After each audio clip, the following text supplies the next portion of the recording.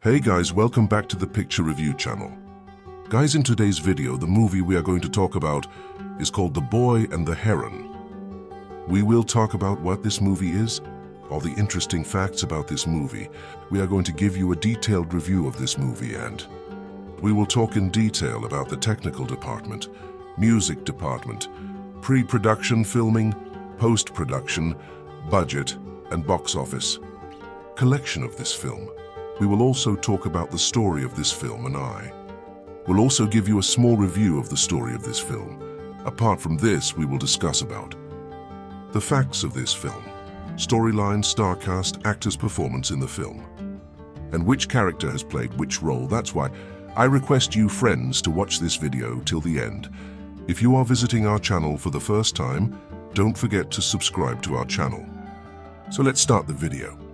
The Boy and the Heron is a 2023 Japanese animated fantasy film written and directed by Hayao Miyazaki. Produced by Studio Ghibli, the film's Japanese title references Genzaburo Yoshino's 1937 novel of the same name, but is not an adaptation of it. The Japanese voice cast includes Soma Santoki, Masaki Suda, Ko Shibasaki, Aimyon, Yoshino Kimura, Takuya Kimura, Kaoru Kobayashi, and Shinobu Otake. Described as a big fantastical film, it follows a boy named Mahito Maki, who moves to the countryside after his mother's death, discovers an abandoned tower near his new home, and enters a fantastical world with a talking grey heron. Miyazaki announced his retirement in September 2013, but later reversed this decision after working on the short film Boro the Caterpillar 2018. He began storyboarding for a new feature-length project in July 2016, and official production began in May 2017. The film's title was announced in October 2017, targeting a release around the 2020 Summer Olympics.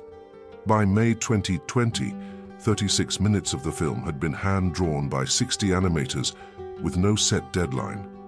Production spanned approximately seven years, facing delays as it navigated challenges related to the COVID-19 pandemic and Miyazaki's slowed animation pace before nearing completion in October 2022. Financing for the project involved streaming deals for previous Ghibli films. According to producer Toshio Suzuki, The Boy and the Heron is the most expensive film ever produced in Japan. The screenplay draws heavily from Miyazaki's childhood and explores themes of coming of age, and coping with a world marked by conflict and loss. Joe Hisaishi composed the film's score, while Kenshi Yonezu wrote and sang the film's theme song, Spinning Globe. The Boy and the Heron was theatrically released in Japan on July 14, 2023 by Toho and was screened in both traditional theaters and other premium formats such as IMAX. The release was noted for its intentional absence of any promotion with Ghibli choosing not to release any trailers, images, synopsis, or casting details of the film in advance of its Japanese premiere, except a single poster. The film received critical acclaim and has grossed you $294.2 million worldwide, making it the fifth highest-grossing Japanese film of all time. Among its numerous accolades, it won the BAFTA Award for Best Animated Film, the Golden Globe Award for Best Animated Feature Film, and the Academy Award for Best Animated Feature. Plot. In 1942, during the Pacific War in Tokyo, 11-year-old Mahito Maki loses his mother Hisako in a hospital fire. One year later, Mahito's father Shoichi, an air munitions factory owner, marries and impregnates his late wife's sister Natsuko, and they evacuate to her rural estate. Mahito, now a quiet and sullen boy, encounters a peculiar grey heron that resides in a sealed tower, the last known location of Natsuko's architect granduncle. After instigating a school fight, Mahito deliberately injures himself. The heron, now speaking, entices Mahito with promises of finding his mother.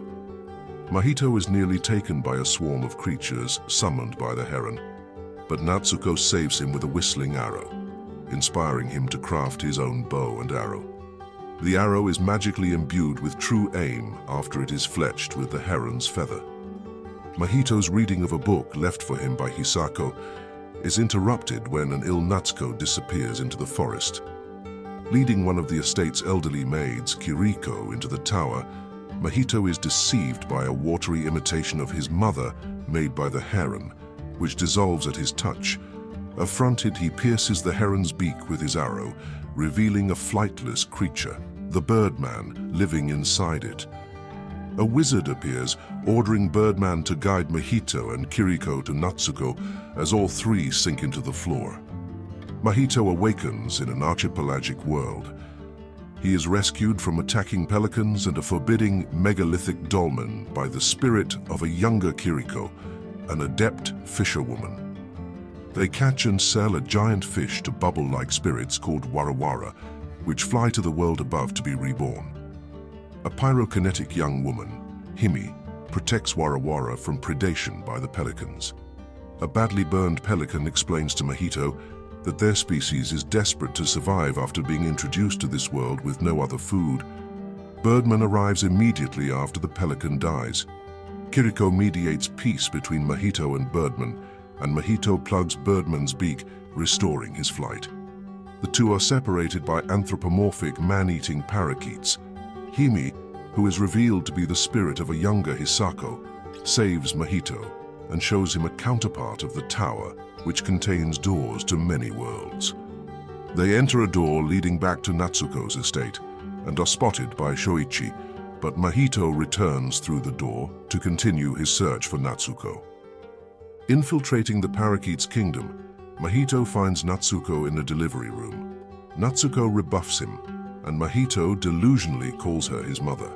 Himi incinerates the paper attacking them, but all three are rendered unconscious by the encounter.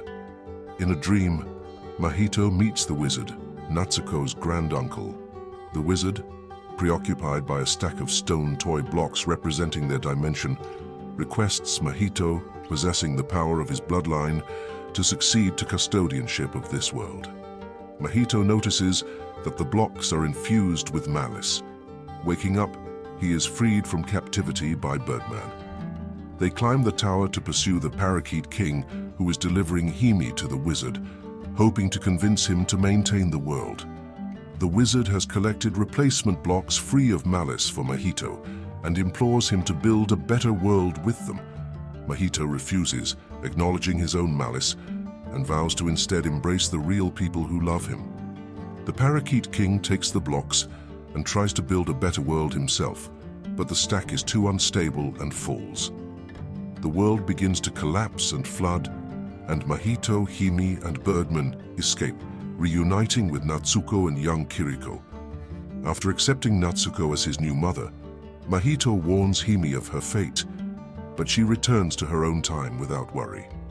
Mahito, Natsuko, and the elder Kiriko return, amidst an exodus of animals that revert to non-anthropomorphic forms and reunite with Shoichi, Birdman reverting back to the heron notices Mahito keeping a stone of power to one day build a new world, and they part as friends. Two years later, after the war's end, Mahito moves back to Tokyo with Shoichi, Natsuko, and his new half-sibling. Box office. In Japan, The Boy and the Heron grossed as 13.2 million, 31.8 billion in its opening weekend, becoming Studio Ghibli's biggest opening and surpassing Howl's Moving Castle's Y1.5 billion debut in 2004. The film earned U $1.7 million from 44 IMAX screens, setting a new three-day record. It attracted 1.35 million viewers and exceeded Y2.1 billion, U's 15.2 million in box office revenue in its first four days. On September 11th, the film became the 20th highest grossing anime in Japan it dropped out of the top 10 grossing films for the first time in its 13th weekend. The gross amount increased by about 1 to 300,000 yen each week, from Y8.44 billion on October 15th to Y8.66 billion on December 24th. By March 17, 2024, the gross in Japan reached Y8.98 billion, 61 million. Film journalist Hiroo Otaka noted the industry's astonishment at the rapid box office success for the film's unconventional minimalist promotion strategy. The achievement has evoked mixed feelings among industry insiders, with distribution representatives expressing concerns to Otaka, fearing the challenge of this no-promotion strategy on their livelihoods and the necessity of traditional advertising methods. In addition to this marketing strategy, Otaka identified two important aspects of the film's commercial success. The first is that the deliberate approach of leaving the film by itself capitalized on its existing fan base by generating discussion and interaction on social media. He also mentioned Ghibli's earlier works, regularly featured on Friday Roadshow for a decade, indirectly promoted the film. As of April 15, 2024, the film has grossed $294.2 million.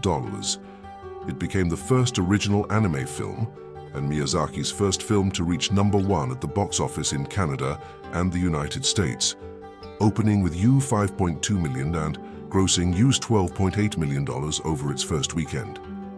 In China, the film broke a record for foreign animated films, collecting US $23.7 million in CMY 171.5 million in a single day. It has earned a cumulative US $94 million as of April 15, 2024. Critical response. On review aggregator site Rotten Tomatoes, 97% of 256 critics gave the film a positive review, with an average rating of 8.5 out of 10. The site's critics' consensus reads, soulfully exploring thought-provoking themes through a beautifully animated lens, The Boy and the Heron is another Miyazaki masterpiece. On Metacritic, the film has a weighted average score of 91 out of 100 based on 55 critic reviews indicating universal acclaim. Audiences polled by CinemaScore gave the English-dubbed version of the film an average grade of A on an A plus to F scale.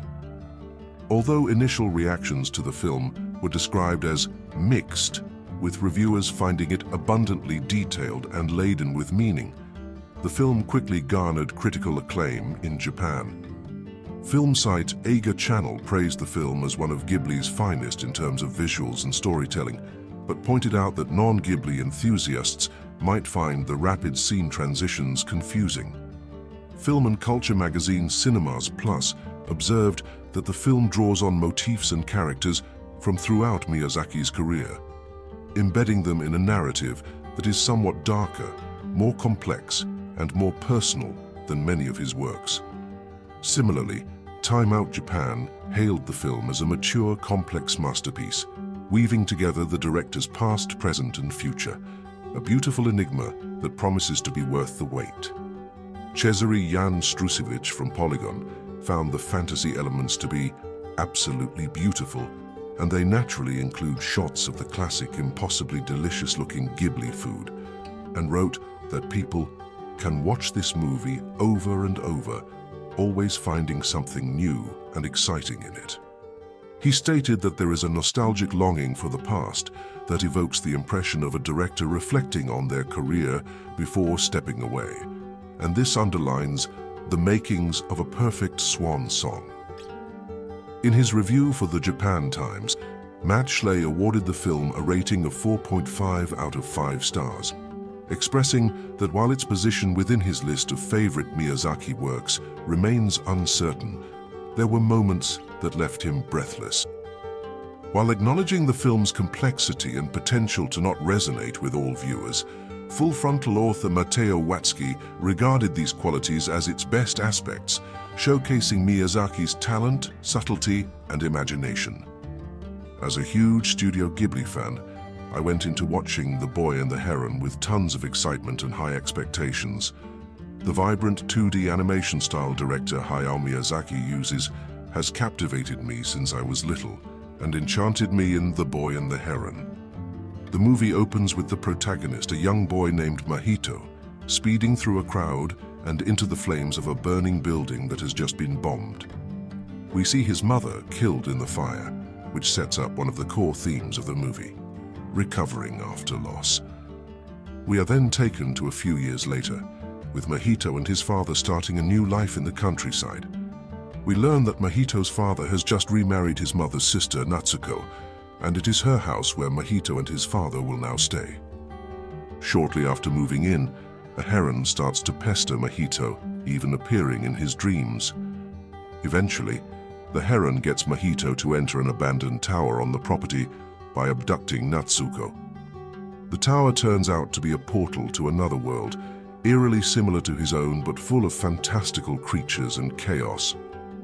This is where the adventure begins, with Mahito on a quest to bring back Natsuko from this new world. Everything that unfolded in the other world was incredibly unique. The creatures, such as the human-sized parakeets and the warawara, were so original that I can't imagine how they were created. As Mahito continued his journey, he encountered many different realms that introduced us to new characters and new features of the other world, keeping me engaged and in a state of constant anticipation. What I loved most about the movie was the beauty in each frame. The way the movement was animated gave me a sense of calmness. Grass blowing in the wind, flames licking the screen, waves washing ashore, and paper being torn apart all gave the story a common sense of peace. Each landscape shot had so much detail and such a stunning mix of colors, and every new location Mahito encountered provided elements I had never seen before. As for the story, I can't say I could give you a cohesive start-to-end explanation.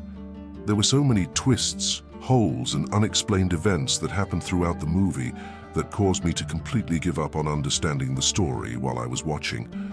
I could make a long list of things that made no sense to me, but I concluded that the story was supposed to emulate a dream. It didn't have to make sense, because we were now in a world where the rules of everyday life did not apply. Overall, I thought, The Boy and the Heron was a beautiful movie that I was able to enjoy even without a plot. Through his adventure, Mahito can cope with the loss of his mother and accept his new life. Two powerful themes presented through fantasy and adventure. In 2013, fans of Hayao Miyazaki really thought they'd seen the last of the Japanese filmmaking legend with the semi-autobiographical The Wind Rises, in what was a gentle, personal and emotional goodbye. It was perfect.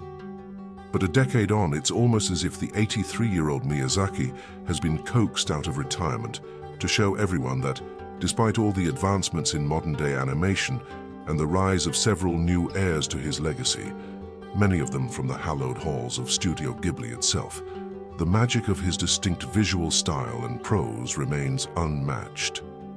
With The Boy and the Heron, Miyazaki taps once again into one of his favorite recurring themes, that of a child dealing with grief in the backdrop of war who gets sucked into a mysterious fantasy world. Diving headlong into the drama Alice in Wonderland style, the director pulls out all the stops to truly immerse us into his vision indulgent at times though it may be. In 2013, fans of Hayao Miyazaki really thought they'd seen the last of the Japanese filmmaking legend with the semi-autobiographical The Wind Rises. In what was a gentle, personal and emotional goodbye, it was perfect. But a decade on, it's almost as if the 83-year-old Miyazaki has been coaxed out of retirement to show everyone that despite all the advancements in modern-day animation, and the rise of several new heirs to his legacy, many of them from the hallowed halls of Studio Ghibli itself, the magic of his distinct visual style and prose remains unmatched. Cannes 2024 Studio Ghibli makes history as the first group to be awarded honorary Palme d'Or. With The Boy and the Heron, Miyazaki taps once again into one of his favorite recurring themes, that of a child dealing with grief in the backdrop of war who gets sucked into a mysterious fantasy world. Diving headlong into the drama Alice in Wonderland style, the director pulls out all the stops to truly immerse us into his vision, indulgent at times though it may be. We begin by meeting young Mahito Maki, voiced by Soma Santoki in early 1940s Japan during wartime. His mother is killed in a hospital fire after a bombing raid on Tokyo, and his father, who heads a factory that manufactures fighter planes, ends up marrying his late wife's younger sister, Natsuko Yoshino Kimura. Mahito, who is still haunted by the loss of his mother in recurrent nightmares, has to relocate from Tokyo to a country estate run by Natsuko and her staff of squabbling old grannies, where he's left to fend off his inner demons alone. This is where the first of Miyazaki's autobiographical touches kick in. The animator's own father worked in a fighter plane factory. His family left Tokyo for the countryside when he was very young, and some of his earliest memories as a child involved burning infernos and the fear of war. As Mahito's inner turmoil and guilt at being unable to save his mother continues to confound his subconscious, he comes across a giant talking heron, voiced by Masaki Suda, who keeps trying to lure him into a forbidden derelict tower on the grounds of the estate. The heron first tells him that his mother isn't dead after all. Then, to make matters worse, his stepmother, Aunt Natsuko, who is now pregnant, disappears. And following this anthropomorphic bird into a parallel universe through the tower seems to be the key to finding her. From there on, the protagonist is drawn into a magical timeline populated by everything from fire maidens and man-eating parakeets to unborn human souls called the Warawara, right up there with Ghibli's most enchanting creations, and ancient wizards. Miyazaki fans will be delighted by the familiarity of many such figures, as Mahito combats one surreal circumstance after another, still unable to differentiate between his dreams and real life. Neither are we. Aided by a superb voice cast, the English language version features Luca Padovan, Robert Pattinson, Christian Bale, Gemma Chan and many others, and gorgeous orchestral score by longtime collaborator Joe Hisaishi, Miyazaki eventually unleashes the full force of his imagination in this limitless world, but the narrative excites and exasperates in equal measure. You hardly have time to admire the ingenuity behind a character and their surroundings before being whisked away into a different realm or plot point. Lavish though this may be, the striking clarity behind his previous outings like My Neighbor Totoro or Spirited Away is a miss. But is this exactly what Miyazaki wanted us to experience? The film's original title, How Do You Live, is taken from a 1937 Japanese novel by Genzaburo Yoshino, a favorite of the filmmaker. And at several points, it almost seems like he is posing that very question to the audience and himself. So how do you live? How do you make your peace with the past and confront a grief that nobody else can quite understand? The Boy and the Heron provides no easy or clear-cut answers to this, and Miyazaki leaves us pondering well after the film has finished. As Mahito finds new meaning to love, family and loss in more ways than one.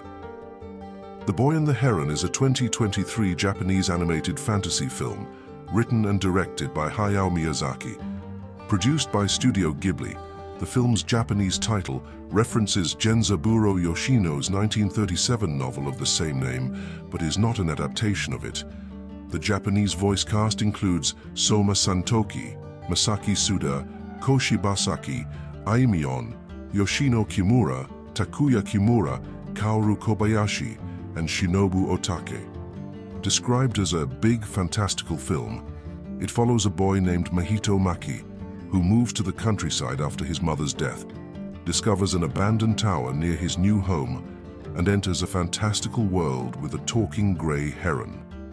Miyazaki announced his retirement in September 2013, but later reversed this decision after working on the short film Boro the Caterpillar 2018. He began storyboarding for a new feature-length project in July 2016, and official production began in May 2017. The film's title was announced in October 2017, targeting a release around the 2020 Summer Olympics.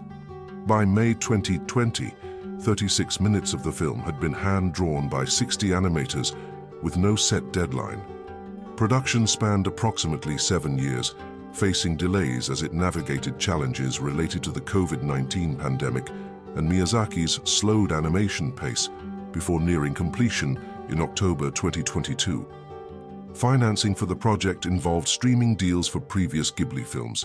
According to producer Toshio Suzuki, The Boy and the Heron is the most expensive film ever produced in Japan. The screenplay draws heavily from Miyazaki's childhood and explores themes of coming of age, and coping with a world marked by conflict and loss.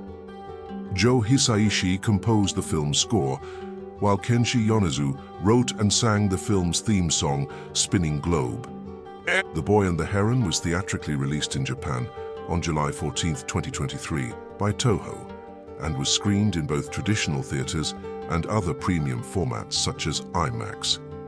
The release was noted for its intentional absence of any promotion, with Ghibli choosing not to release any trailers, images, synopsis, or casting details of the film in advance of its Japanese premiere, except a single poster. The film received critical acclaim and has grossed you $294.2 million worldwide, making it the fifth highest grossing Japanese film of all time. Among its numerous accolades, it won the BAFTA Award for Best Animated Film, the Golden Globe Award for Best Animated Feature Film, and the Academy Award for Best Animated Feature. Plot In 1942, during the Pacific War in Tokyo, 11-year-old Mahito Maki loses his mother Hisako in a hospital fire. One year later, Mahito's father Shoichi, an air munitions factory owner, marries and impregnates his late wife's sister Natsuko, and they evacuate to her rural estate. Mahito, now a quiet and sullen boy, encounters a peculiar grey heron that resides in a sealed tower, the last known location of Natsuko's architect granduncle. After instigating a school fight, Mahito deliberately injures himself. The heron, now speaking, entices Mahito with promises of finding his mother. Mahito is nearly taken by a swarm of creatures summoned by the heron, but Natsuko saves him with a whistling arrow, inspiring him to craft his own bow and arrow. The arrow is magically imbued with true aim after it is fletched with the heron's feather. Mahito's reading of a book left for him by Hisako is interrupted when an ill Natsuko disappears into the forest.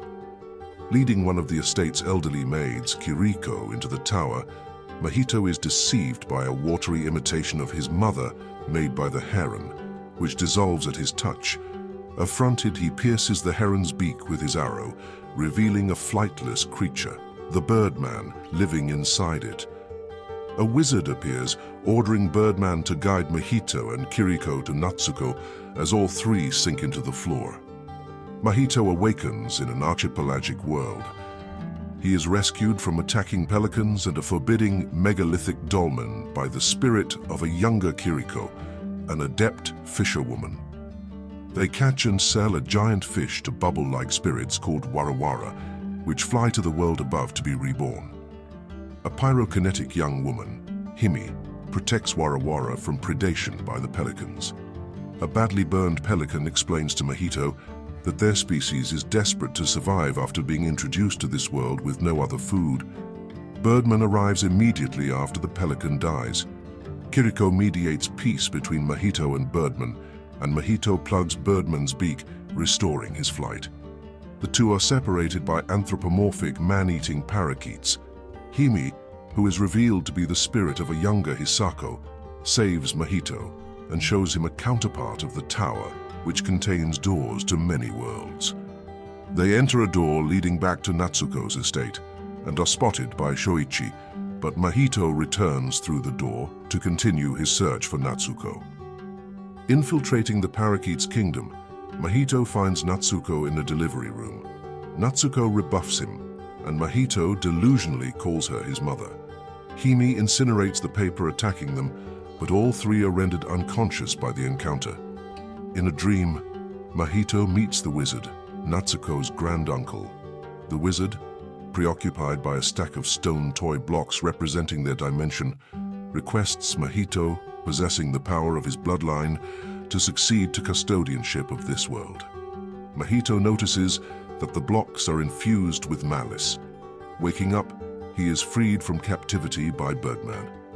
They climb the tower to pursue the Parakeet King, who is delivering Himi to the wizard, hoping to convince him to maintain the world. The wizard has collected replacement blocks free of malice for Mahito and implores him to build a better world with them. Mahito refuses, acknowledging his own malice, and vows to instead embrace the real people who love him. The Parakeet King takes the blocks and tries to build a better world himself, but the stack is too unstable and falls. The world begins to collapse and flood, and Mahito, Himi, and Birdman escape, reuniting with Natsuko and young Kiriko. After accepting Natsuko as his new mother, Mahito warns Himi of her fate, but she returns to her own time without worry. Mahito, Natsuko, and the elder Kiriko return. Amidst an exodus of animals that revert to non-anthropomorphic forms and reunite with Shoichi, Birdman, reverting back to the heron, notices Mahito keeping a stone of power to one day build a new world, and they part as friends. Two years later, after the war's end, Mahito moves back to Tokyo with Shoichi, Natsuko, and his new half-sibling. Box office. In Japan, The Boy and the Heron grossed as 13.2 million, 31.8 billion in its opening weekend, becoming Studio Ghibli's biggest opening and surpassing Howl's Moving Castle's Y1.5 billion debut in 2004. The film earned U $1.7 million from 44 IMAX screens, setting a new three-day record. It attracted 1.35 million viewers and exceeded Y 2.1 billion, U's 15.2 million in box office revenue in its first four days. On September 11th, the film became the 20th highest grossing anime in Japan. It dropped out of the top 10 grossing films for the first time in its 13th weekend the gross amount increased by about 1 to 300,000 yen each week, from Y8.44 billion on October 15th to Y8.66 billion on December 24th.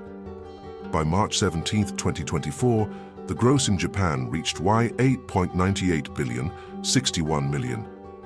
Film journalist Hiroo Otaka noted the industry's astonishment at the rapid box office success for the film's unconventional minimalist promotion strategy.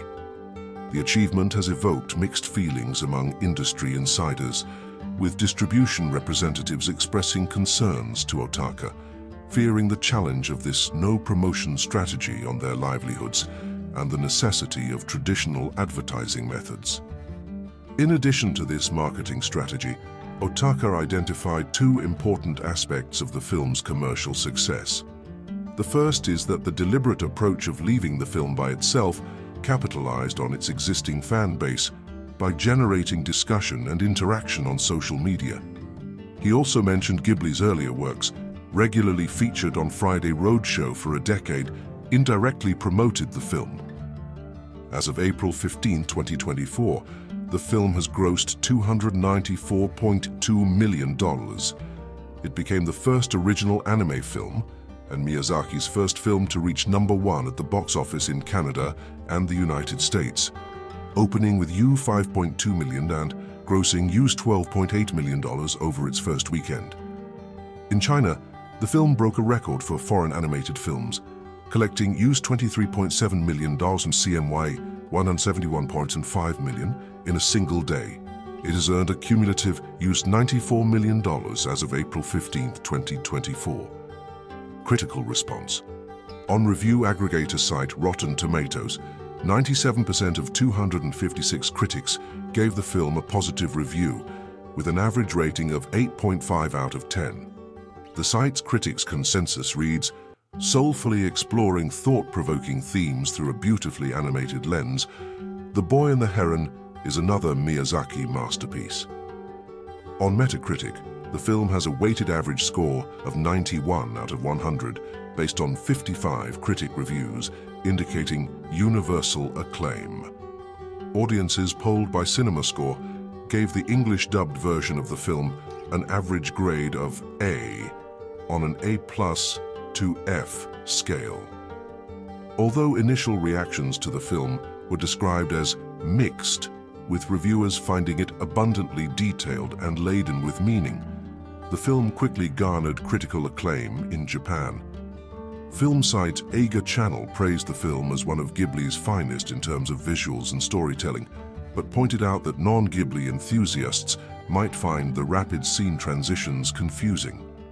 Film and culture magazine Cinemas Plus observed that the film draws on motifs and characters from throughout Miyazaki's career, embedding them in a narrative that is somewhat darker, more complex, and more personal than many of his works.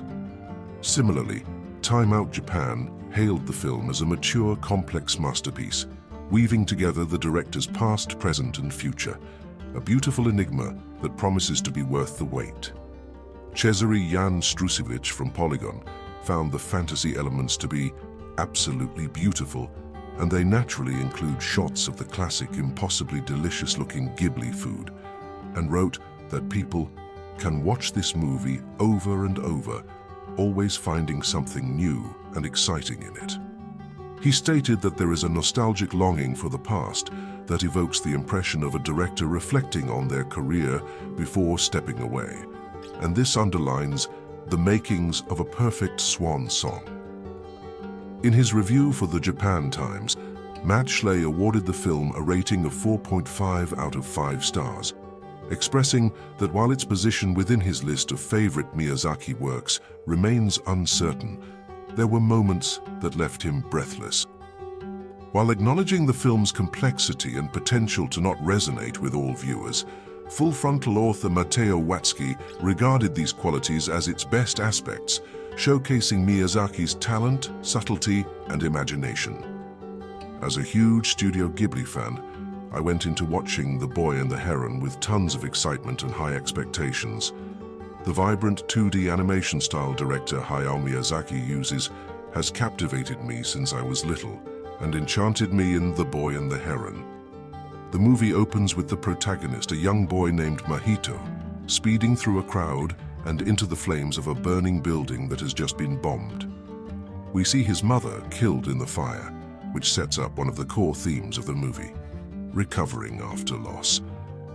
We are then taken to a few years later, with Mahito and his father starting a new life in the countryside.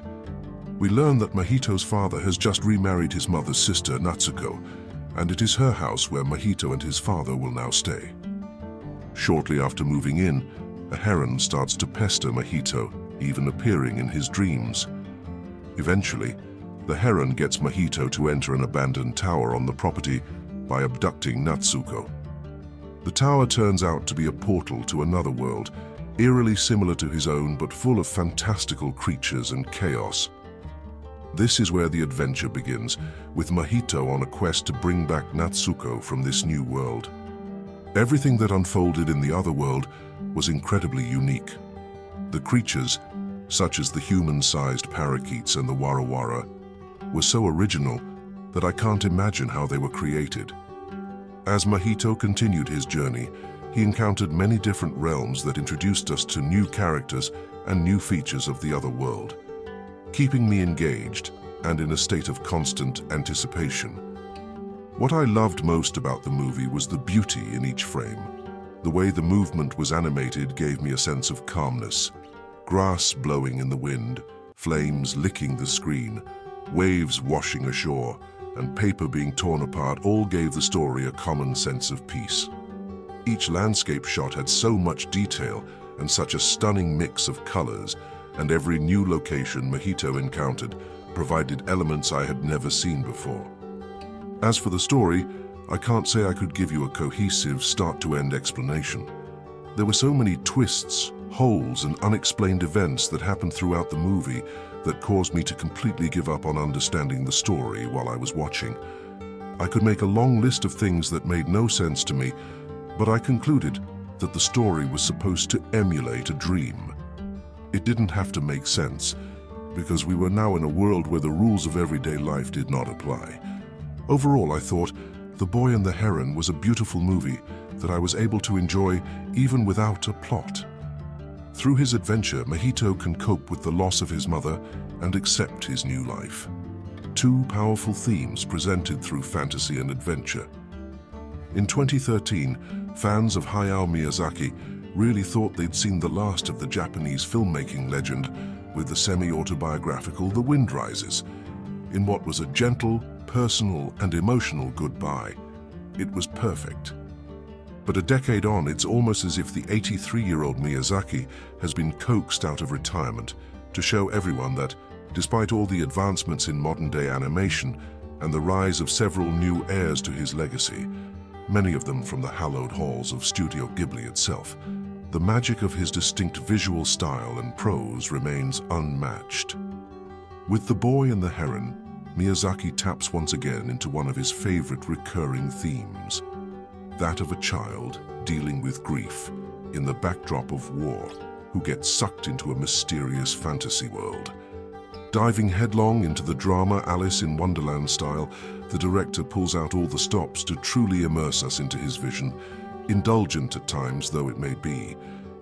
In 2013, fans of Hayao Miyazaki really thought they'd seen the last of the Japanese filmmaking legend with the semi-autobiographical The Wind Rises, in what was a gentle, personal and emotional goodbye. It was perfect. But a decade on, it's almost as if the 83-year-old Miyazaki has been coaxed out of retirement to show everyone that despite all the advancements in modern-day animation and the rise of several new heirs to his legacy, many of them from the hallowed halls of Studio Ghibli itself, the magic of his distinct visual style and prose remains unmatched.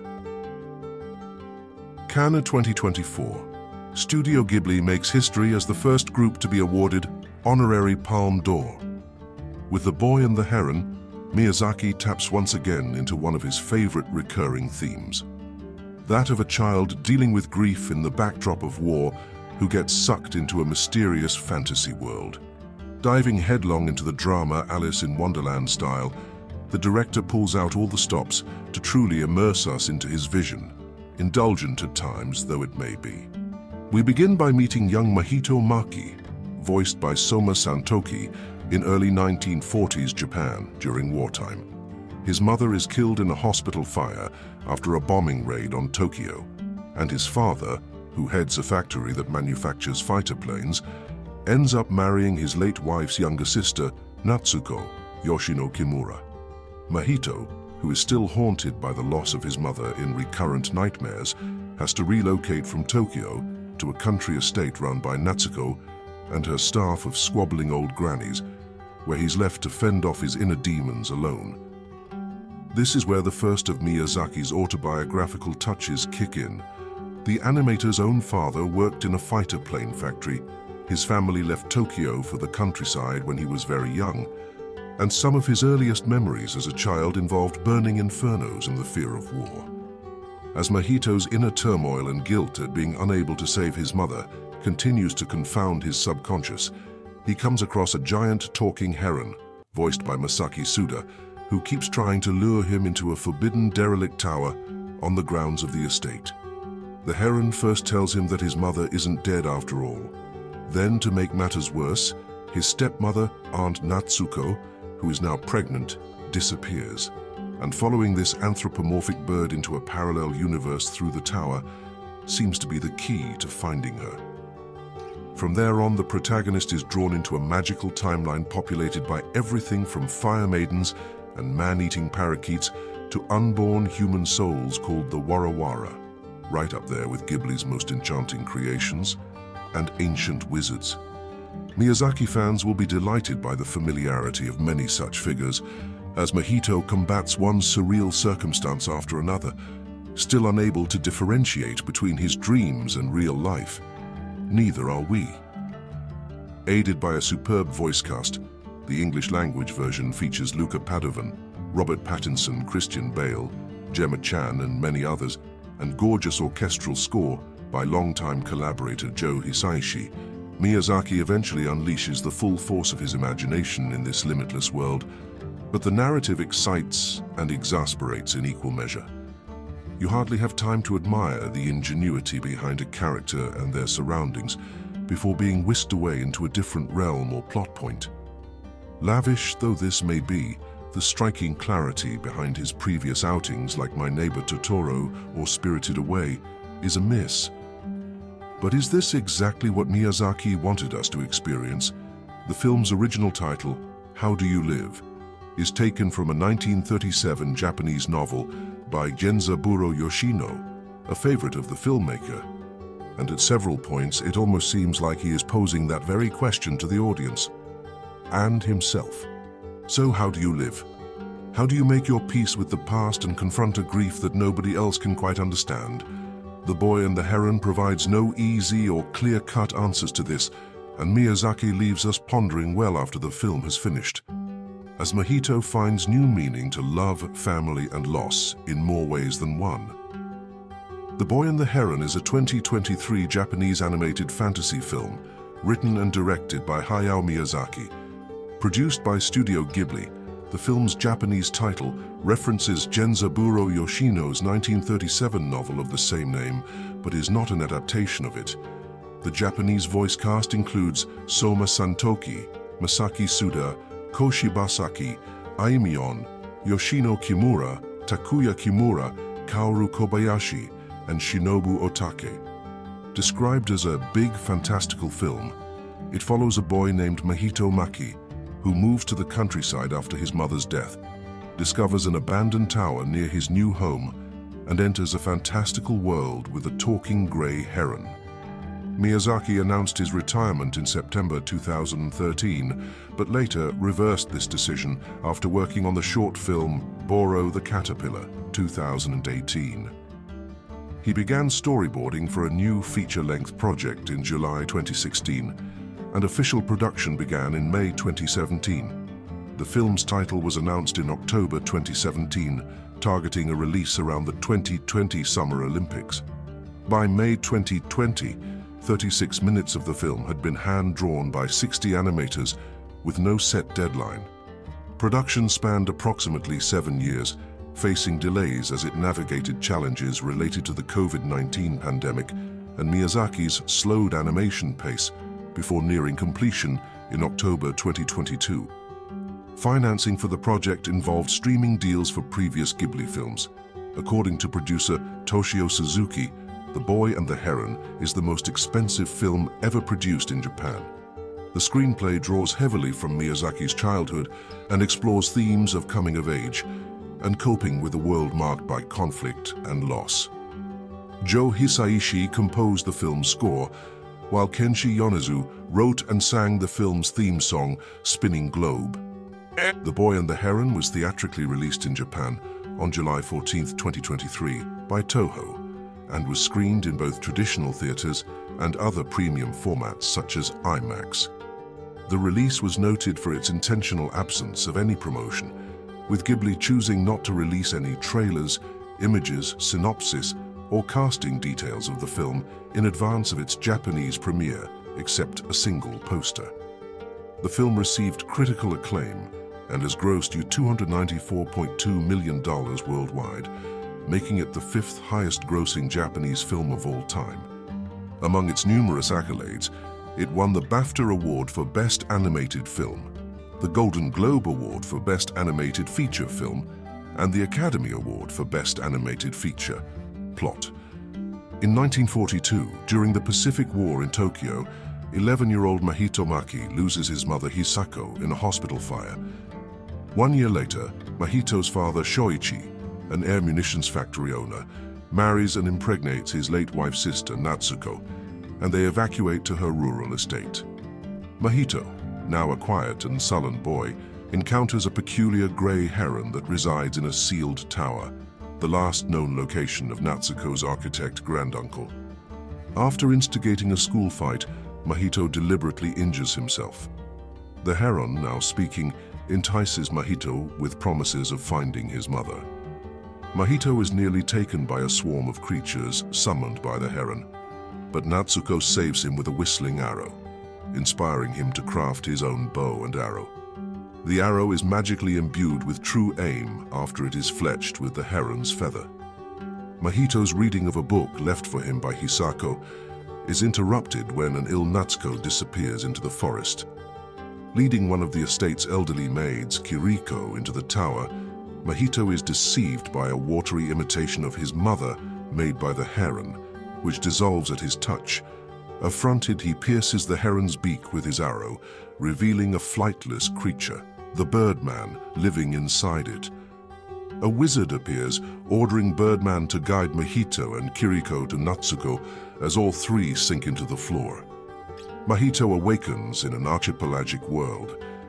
He is rescued from attacking pelicans and a forbidding megalithic dolmen by the spirit of a younger Kiriko, an adept fisherwoman. They catch and sell a giant fish to bubble-like spirits called warawara, which fly to the world above to be reborn. A pyrokinetic young woman, Himi, protects Warawara from predation by the pelicans. A badly burned pelican explains to Mahito that their species is desperate to survive after being introduced to this world with no other food. Birdman arrives immediately after the pelican dies. Kiriko mediates peace between Mahito and Birdman, and Mahito plugs Birdman's beak, restoring his flight.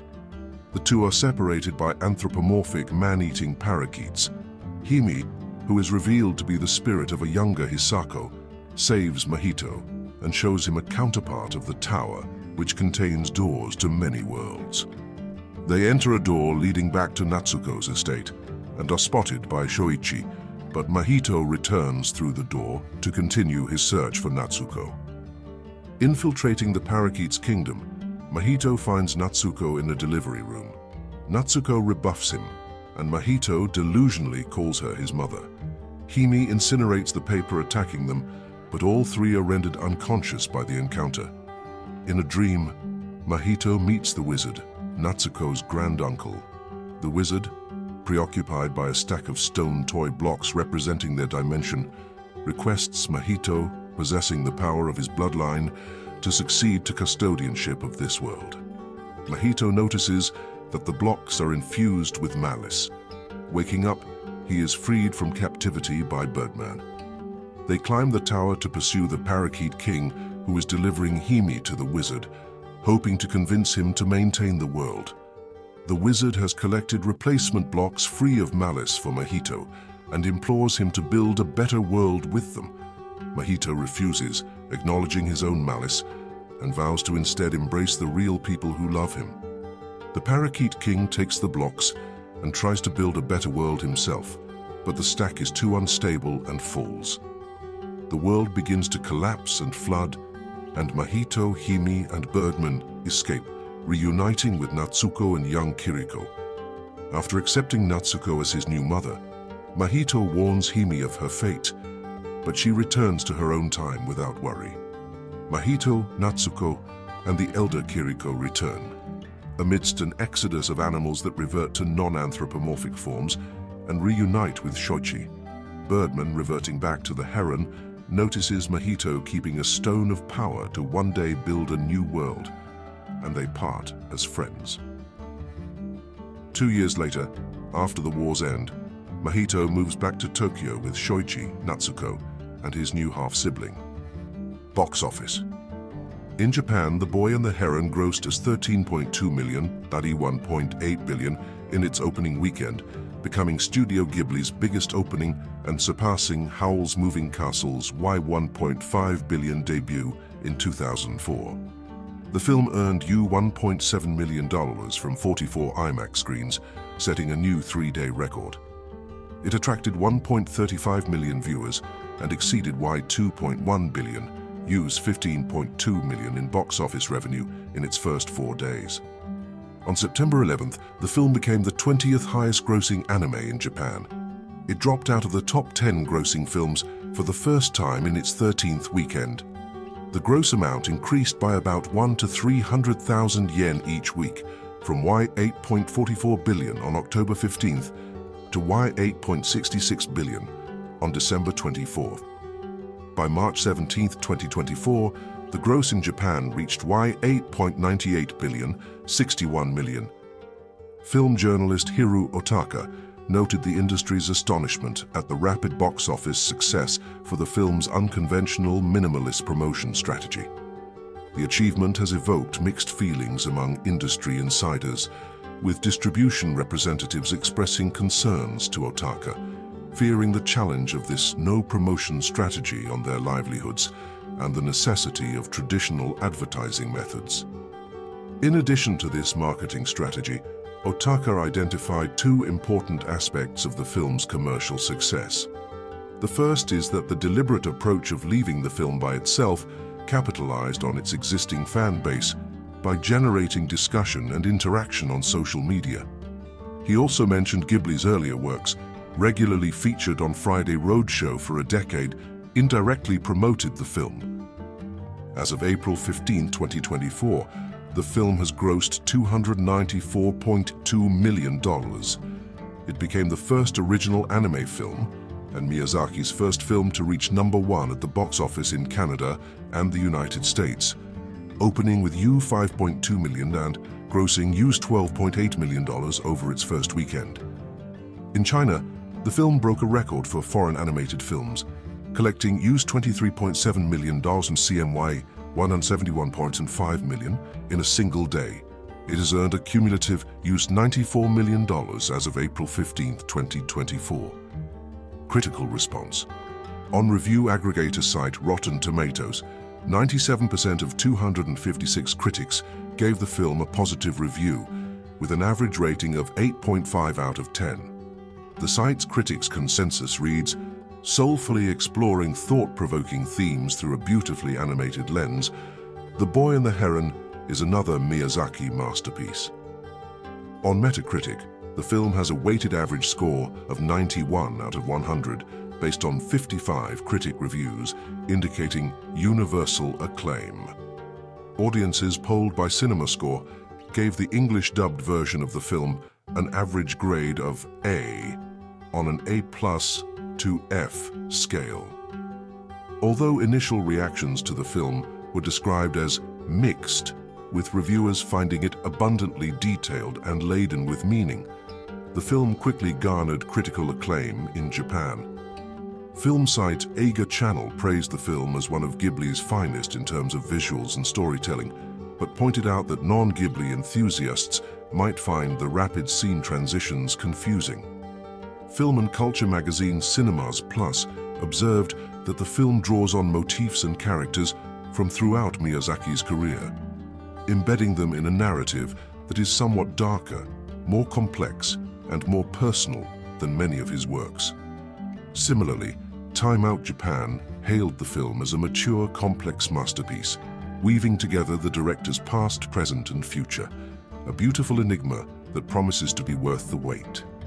Cezary Jan Strusiewicz from Polygon found the fantasy elements to be absolutely beautiful, and they naturally include shots of the classic, impossibly delicious-looking Ghibli food, and wrote that people can watch this movie over and over, always finding something new and exciting in it. He stated that there is a nostalgic longing for the past that evokes the impression of a director reflecting on their career before stepping away and this underlines the makings of a perfect swan song. In his review for the Japan Times, Matt Schley awarded the film a rating of 4.5 out of 5 stars, expressing that while its position within his list of favorite Miyazaki works remains uncertain, there were moments that left him breathless. While acknowledging the film's complexity and potential to not resonate with all viewers, Full Frontal author Matteo Watzky regarded these qualities as its best aspects, showcasing Miyazaki's talent, subtlety, and imagination.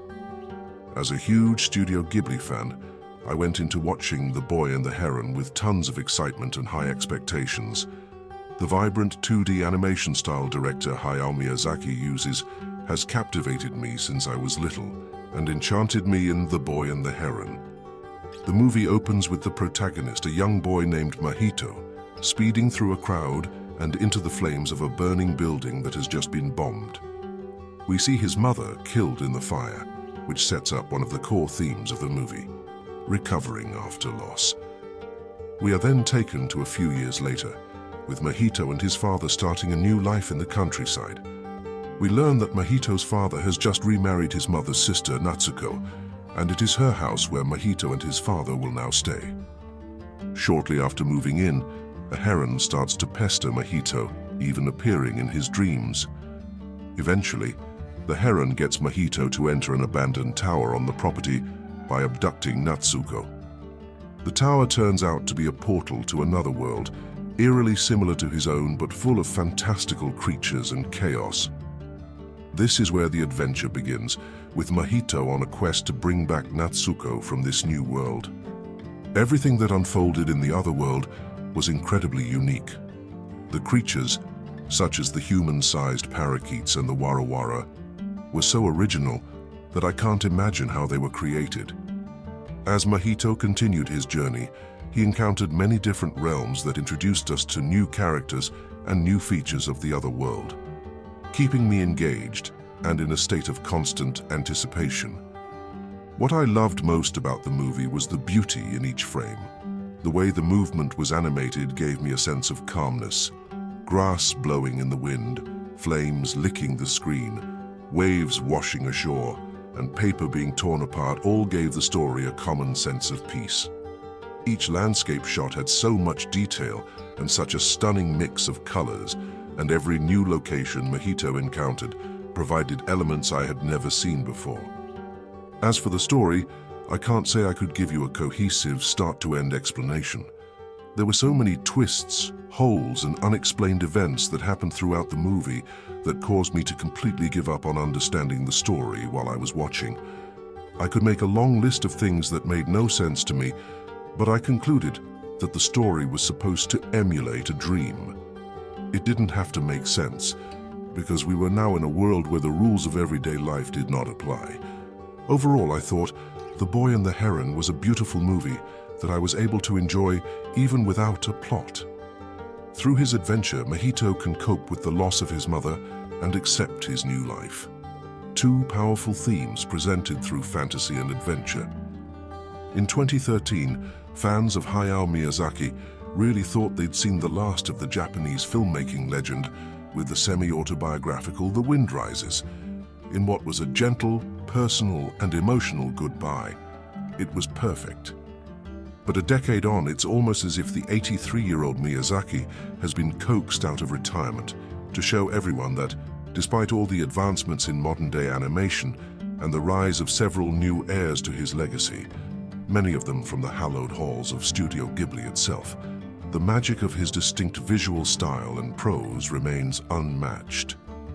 With The Boy and the Heron, Miyazaki taps once again into one of his favorite recurring themes, that of a child dealing with grief in the backdrop of war who gets sucked into a mysterious fantasy world.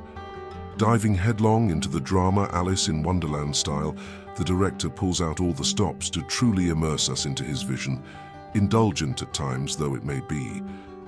In 2013, fans of Hayao Miyazaki really thought they'd seen the last of the Japanese filmmaking legend with the semi-autobiographical The Wind Rises, in what was a gentle, personal and emotional goodbye. It was perfect. But a decade on, it's almost as if the 83-year-old Miyazaki has been coaxed out of retirement to show everyone that despite all the advancements in modern-day animation and the rise of several new heirs to his legacy, many of them from the hallowed halls of Studio Ghibli itself, the magic of his distinct visual style and prose remains unmatched. Cannes 2024 Studio Ghibli makes history as the first group to be awarded Honorary Palme d'Or. With The Boy and the Heron, Miyazaki taps once again into one of his favorite recurring themes. That of a child dealing with grief in the backdrop of war who gets sucked into a mysterious fantasy world. Diving headlong into the drama Alice in Wonderland style, the director pulls out all the stops to truly immerse us into his vision, indulgent at times though it may be. We begin by meeting young Mahito Maki, voiced by Soma Santoki in early 1940s Japan during wartime. His mother is killed in a hospital fire after a bombing raid on Tokyo, and his father, who heads a factory that manufactures fighter planes, ends up marrying his late wife's younger sister, Natsuko, Yoshino Kimura. Mahito, who is still haunted by the loss of his mother in recurrent nightmares, has to relocate from Tokyo to a country estate run by Natsuko and her staff of squabbling old grannies, where he's left to fend off his inner demons alone. This is where the first of Miyazaki's autobiographical touches kick in.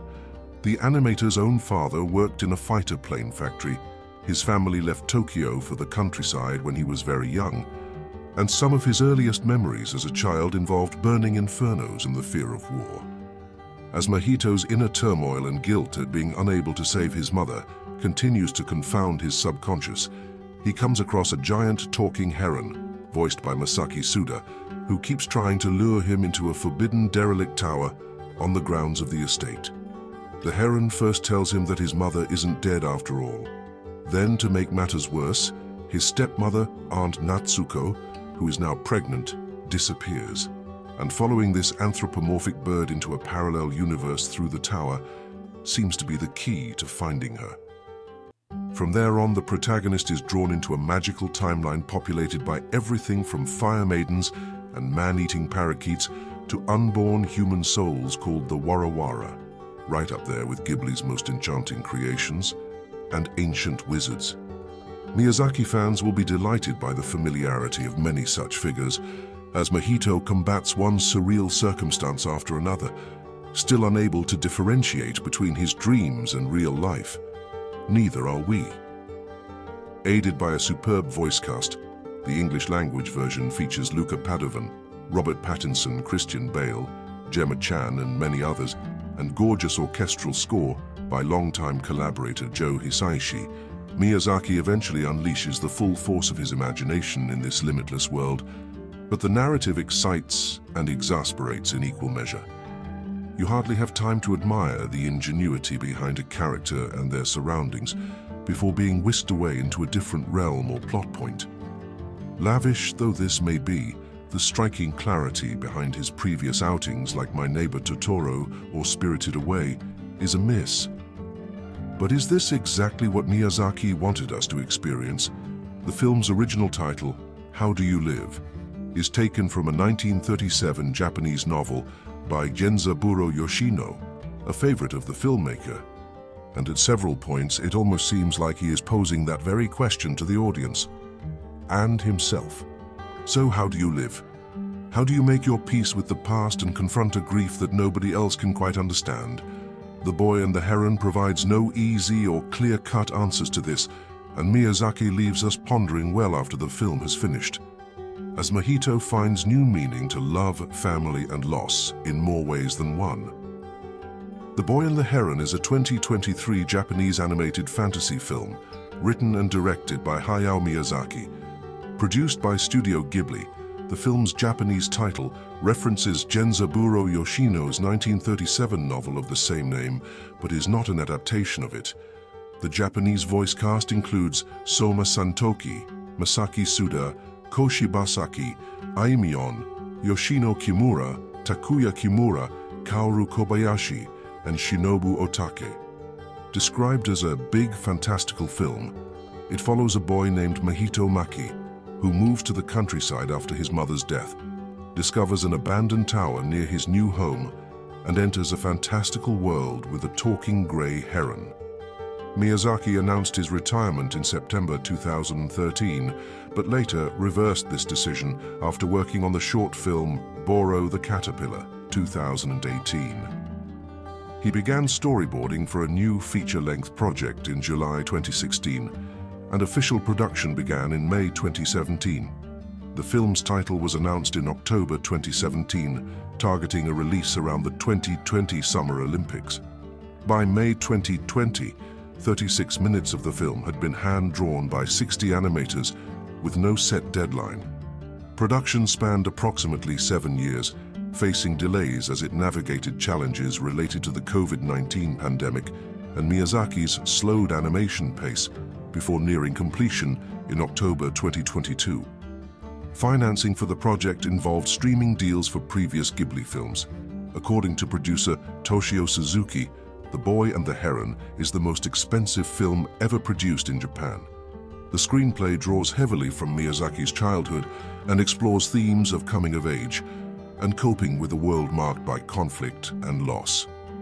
Joe Hisaishi composed the film's score while Kenshi Yonezu wrote and sang the film's theme song, Spinning Globe. The Boy and the Heron was theatrically released in Japan on July 14, 2023 by Toho and was screened in both traditional theaters and other premium formats such as IMAX. The release was noted for its intentional absence of any promotion, with Ghibli choosing not to release any trailers, images, synopsis, or casting details of the film in advance of its Japanese premiere, except a single poster. The film received critical acclaim and has grossed you $294.2 million worldwide, making it the fifth highest-grossing Japanese film of all time. Among its numerous accolades, it won the BAFTA Award for Best Animated Film. the Golden Globe Award for Best Animated Feature Film, and the Academy Award for Best Animated Feature. Plot. In 1942, during the Pacific War in Tokyo, 11-year-old Mahito Maki loses his mother Hisako in a hospital fire. One year later, Mahito's father Shoichi, an air munitions factory owner, marries and impregnates his late wife's sister Natsuko, and they evacuate to her rural estate. Mahito, now a quiet and sullen boy, encounters a peculiar grey heron that resides in a sealed tower, the last known location of Natsuko's architect granduncle. After instigating a school fight, Mahito deliberately injures himself.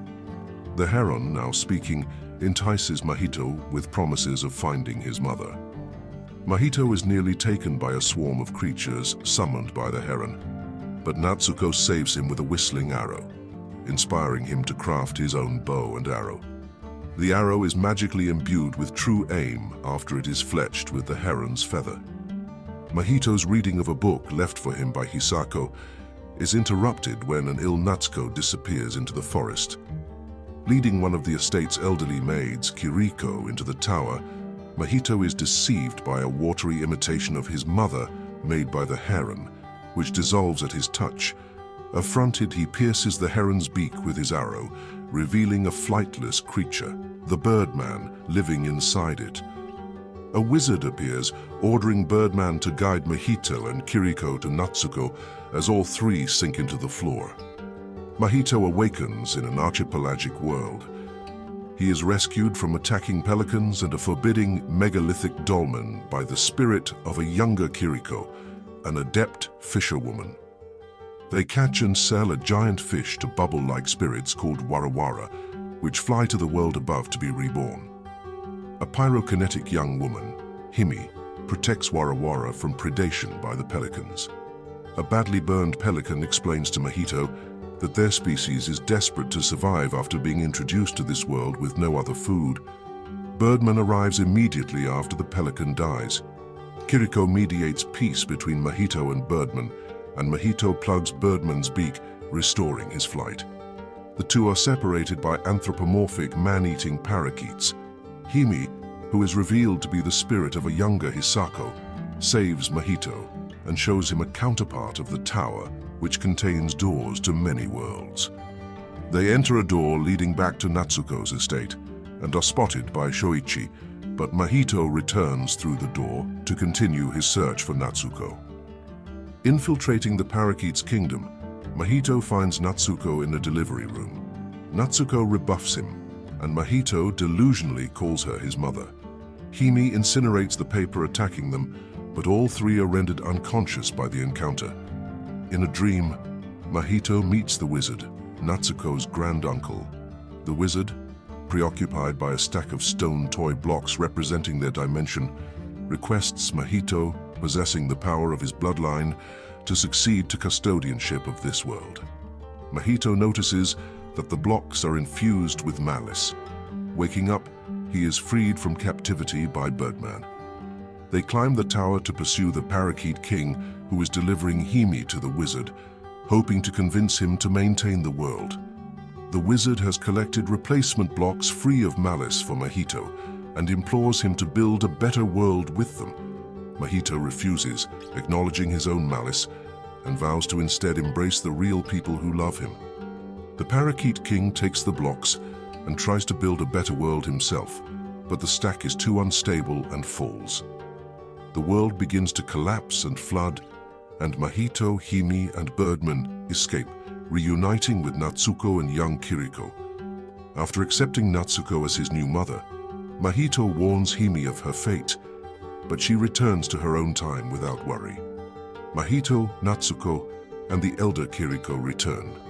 Amidst an exodus of animals that revert to non-anthropomorphic forms and reunite with Shoichi, Birdman reverting back to the heron notices Mahito keeping a stone of power to one day build a new world, and they part as friends.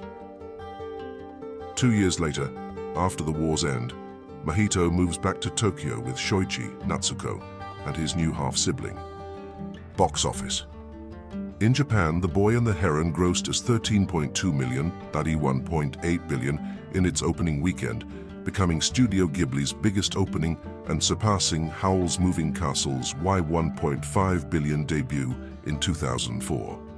The film earned U $1.7 million from 44 IMAX screens, setting a new three-day record. It attracted 1.35 million viewers and exceeded Y 2.1 billion, U's 15.2 million in box office revenue in its first four days. On September 11th, the film became the 20th highest grossing anime in Japan. It dropped out of the top 10 grossing films for the first time in its 13th weekend. The gross amount increased by about 1 to 300,000 yen each week, from Y 8.44 billion on October 15th to Y 8.66 billion on December 24th. By March 17, 2024, the gross in Japan reached Y 8.98 billion, 61 million. Film journalist Hiroo Otaka noted the industry's astonishment at the rapid box office success for the film's unconventional minimalist promotion strategy. The achievement has evoked mixed feelings among industry insiders, with distribution representatives expressing concerns to Otaka fearing the challenge of this no-promotion strategy on their livelihoods and the necessity of traditional advertising methods. In addition to this marketing strategy, Otaka identified two important aspects of the film's commercial success. The first is that the deliberate approach of leaving the film by itself capitalized on its existing fan base by generating discussion and interaction on social media. He also mentioned Ghibli's earlier works, regularly featured on Friday Roadshow for a decade, indirectly promoted the film. As of April 15, 2024, the film has grossed $294.2 million. It became the first original anime film and Miyazaki's first film to reach number one at the box office in Canada and the United States, opening with U 5.2 million and grossing US $12.8 million over its first weekend. In China, the film broke a record for foreign animated films, collecting US $23.7 million in CNY 171.5 million in a single day. It has earned a cumulative US $94 million as of April 15, 2024. Critical response. On review aggregator site Rotten Tomatoes, 97% of 256 critics gave the film a positive review, with an average rating of 8.5 out of 10. The site's critics' consensus reads, soulfully exploring thought-provoking themes through a beautifully animated lens, The Boy and the Heron is another Miyazaki masterpiece. On Metacritic, the film has a weighted average score of 91 out of 100 based on 55 critic reviews indicating universal acclaim. Audiences polled by CinemaScore gave the English-dubbed version of the film an average grade of A on an A plus to F scale. Although initial reactions to the film were described as mixed, with reviewers finding it abundantly detailed and laden with meaning, the film quickly garnered critical acclaim in Japan. Film site Eiga Channel praised the film as one of Ghibli's finest in terms of visuals and storytelling, but pointed out that non-Ghibli enthusiasts might find the rapid scene transitions confusing. Film and culture magazine Cinemas Plus observed that the film draws on motifs and characters from throughout Miyazaki's career, embedding them in a narrative that is somewhat darker, more complex, and more personal than many of his works. Similarly, Time Out Japan hailed the film as a mature, complex masterpiece, weaving together the director's past, present, and future, a beautiful enigma that promises to be worth the wait.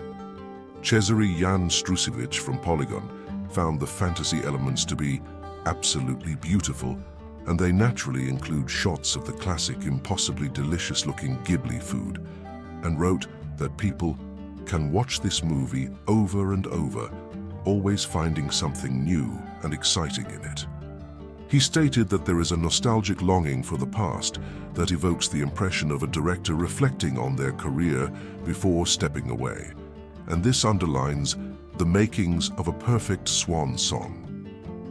In his review for the Japan Times, Matt Schley awarded the film a rating of 4.5 out of 5 stars, expressing that while its position within his list of favorite Miyazaki works remains uncertain, there were moments that left him breathless. While acknowledging the film's complexity and potential to not resonate with all viewers, Full Frontal author Matteo Watzky regarded these qualities as its best aspects, showcasing Miyazaki's talent, subtlety, and imagination. As a huge Studio Ghibli fan, I went into watching The Boy and the Heron with tons of excitement and high expectations. The vibrant 2D animation style director Hayao Miyazaki uses has captivated me since I was little and enchanted me in The Boy and the Heron. The movie opens with the protagonist, a young boy named Mahito, speeding through a crowd and into the flames of a burning building that has just been bombed. We see his mother killed in the fire, which sets up one of the core themes of the movie recovering after loss. We are then taken to a few years later, with Mahito and his father starting a new life in the countryside. We learn that Mahito's father has just remarried his mother's sister, Natsuko, and it is her house where Mahito and his father will now stay. Shortly after moving in, a heron starts to pester Mahito, even appearing in his dreams. Eventually, the heron gets Mahito to enter an abandoned tower on the property by abducting Natsuko. The tower turns out to be a portal to another world, eerily similar to his own but full of fantastical creatures and chaos. This is where the adventure begins, with Mahito on a quest to bring back Natsuko from this new world. Everything that unfolded in the other world was incredibly unique. The creatures, such as the human-sized parakeets and the warawara, were so original that I can't imagine how they were created. As Mahito continued his journey, he encountered many different realms that introduced us to new characters and new features of the other world, keeping me engaged and in a state of constant anticipation.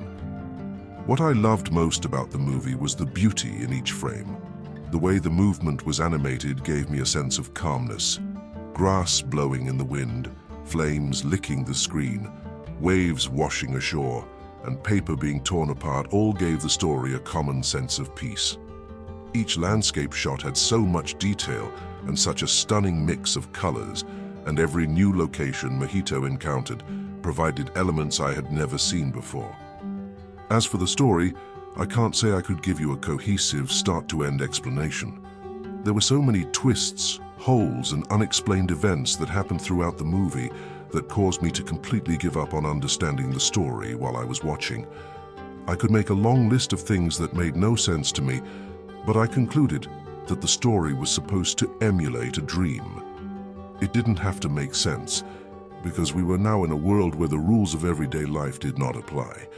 Overall, I thought, The Boy and the Heron was a beautiful movie that I was able to enjoy even without a plot. Through his adventure, Mahito can cope with the loss of his mother and accept his new life. Two powerful themes presented through fantasy and adventure. In 2013, fans of Hayao Miyazaki really thought they'd seen the last of the Japanese filmmaking legend with the semi-autobiographical The Wind Rises, in what was a gentle, personal and emotional goodbye. It was perfect.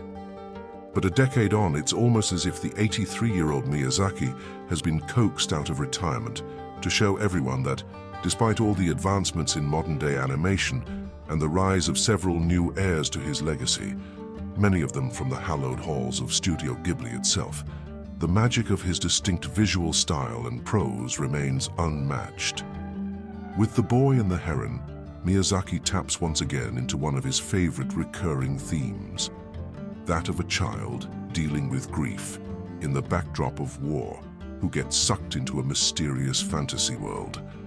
Diving headlong into the drama Alice in Wonderland style, the director pulls out all the stops to truly immerse us into his vision, indulgent at times though it may be. In 2013, fans of Hayao Miyazaki really thought they'd seen the last of the Japanese filmmaking legend with the semi-autobiographical The Wind Rises, in what was a gentle, personal and emotional goodbye. It was perfect. But a decade on, it's almost as if the 83-year-old Miyazaki has been coaxed out of retirement to show everyone that despite all the advancements in modern-day animation, and the rise of several new heirs to his legacy, many of them from the hallowed halls of Studio Ghibli itself, the magic of his distinct visual style and prose remains unmatched. Cannes 2024 Studio Ghibli makes history as the first group to be awarded Honorary Palme d'Or. With The Boy and the Heron, Miyazaki taps once again into one of his favorite recurring themes. That of a child dealing with grief in the backdrop of war who gets sucked into a mysterious fantasy world. Diving headlong into the drama Alice in Wonderland style, the director pulls out all the stops to truly immerse us into his vision, indulgent at times though it may be. We begin by meeting young Mahito Maki, voiced by Soma Santoki in early 1940s Japan during wartime. His mother is killed in a hospital fire after a bombing raid on Tokyo, and his father, who heads a factory that manufactures fighter planes, ends up marrying his late wife's younger sister, Natsuko Yoshino Kimura. Mahito, who is still haunted by the loss of his mother in recurrent nightmares, has to relocate from Tokyo to a country estate run by Natsuko and her staff of squabbling old grannies, where he's left to fend off his inner demons alone. This is where the first of Miyazaki's autobiographical touches kick in. The animator's own father worked in a fighter plane factory. His family left Tokyo for the countryside when he was very young, and some of his earliest memories as a child involved burning infernos and the fear of war. As Mahito's inner turmoil and guilt at being unable to save his mother continues to confound his subconscious, he comes across a giant talking heron, voiced by Masaki Suda, who keeps trying to lure him into a forbidden derelict tower on the grounds of the estate. The heron first tells him that his mother isn't dead after all. Then, to make matters worse, his stepmother, Aunt Natsuko, who is now pregnant, disappears. And following this anthropomorphic bird into a parallel universe through the tower seems to be the key to finding her. From there on, the protagonist is drawn into a magical timeline populated by everything from fire maidens and man-eating parakeets to unborn human souls called the Warawara, right up there with Ghibli's most enchanting creations, and ancient wizards. Miyazaki fans will be delighted by the familiarity of many such figures, as Mahito combats one surreal circumstance after another, still unable to differentiate between his dreams and real life neither are we. Aided by a superb voice cast, the English language version features Luca Padovan, Robert Pattinson, Christian Bale, Gemma Chan and many others, and gorgeous orchestral score by longtime collaborator Joe Hisaishi, Miyazaki eventually unleashes the full force of his imagination in this limitless world, but the narrative excites and exasperates in equal measure. You hardly have time to admire the ingenuity behind a character and their surroundings before being whisked away into a different realm or plot point. Lavish though this may be, the striking clarity behind his previous outings like My Neighbor Totoro or Spirited Away is a miss. But is this exactly what Miyazaki wanted us to experience? The film's original title, How Do You Live, is taken from a 1937 Japanese novel by Genzaburo Yoshino, a favorite of the filmmaker. And at several points, it almost seems like he is posing that very question to the audience. And himself. So how do you live? How do you make your peace with the past and confront a grief that nobody else can quite understand? The Boy and the Heron provides no easy or clear-cut answers to this, and Miyazaki leaves us pondering well after the film has finished as Mahito finds new meaning to love, family and loss in more ways than one. The Boy and the Heron is a 2023 Japanese animated fantasy film written and directed by Hayao Miyazaki. Produced by Studio Ghibli, the film's Japanese title references Genzaburo Yoshino's 1937 novel of the same name, but is not an adaptation of it. The Japanese voice cast includes Soma Santoki, Masaki Suda, Ko Shibasaki, Aimyon, Yoshino Kimura, Takuya Kimura, Kaoru Kobayashi, and Shinobu Otake. Described as a big fantastical film, it follows a boy named Mahito Maki, who moves to the countryside after his mother's death, discovers an abandoned tower near his new home, and enters a fantastical world with a talking grey heron. Miyazaki announced his retirement in September 2013, but later reversed this decision after working on the short film Boro the Caterpillar, 2018. He began storyboarding for a new feature-length project in July 2016, and official production began in May 2017. The film's title was announced in October 2017, targeting a release around the 2020 Summer Olympics. By May 2020, 36 minutes of the film had been hand-drawn by 60 animators with no set deadline. Production spanned approximately seven years, facing delays as it navigated challenges related to the COVID-19 pandemic and Miyazaki's slowed animation pace before nearing completion in October 2022. Financing for the project involved streaming deals for previous Ghibli films. According to producer Toshio Suzuki, The Boy and the Heron is the most expensive film ever produced in Japan. The screenplay draws heavily from Miyazaki's childhood and explores themes of coming of age and coping with a world marked by conflict and loss. Joe Hisaishi composed the film's score, while Kenshi Yonezu wrote and sang the film's theme song, Spinning Globe. The Boy and the Heron was theatrically released in Japan on July 14, 2023 by Toho and was screened in both traditional theaters and other premium formats such as IMAX. The release was noted for its intentional absence of any promotion, with Ghibli choosing not to release any trailers, images, synopsis, or casting details of the film in advance of its Japanese premiere, except a single poster. The film received critical acclaim and has grossed you $294.2 million worldwide, making it the fifth highest-grossing Japanese film of all time. Among its numerous accolades, it won the BAFTA Award for Best Animated Film, the Golden Globe Award for Best Animated Feature Film, and the Academy Award for Best Animated Feature. Plot. In 1942, during the Pacific War in Tokyo, 11-year-old Mahito Maki loses his mother Hisako in a hospital fire one year later, Mahito's father Shoichi, an air munitions factory owner, marries and impregnates his late wife's sister Natsuko, and they evacuate to her rural estate. Mahito, now a quiet and sullen boy, encounters a peculiar grey heron that resides in a sealed tower, the last known location of Natsuko's architect granduncle. After instigating a school fight, Mahito deliberately injures himself. The heron, now speaking, entices Mahito with promises of finding his mother. Mahito is nearly taken by a swarm of creatures summoned by the heron, but Natsuko saves him with a whistling arrow, inspiring him to craft his own bow and arrow. The arrow is magically imbued with true aim after it is fletched with the heron's feather. Mahito's reading of a book left for him by Hisako is interrupted when an ill Natsuko disappears into the forest. Leading one of the estate's elderly maids, Kiriko, into the tower, Mahito is deceived by a watery imitation of his mother made by the heron, which dissolves at his touch.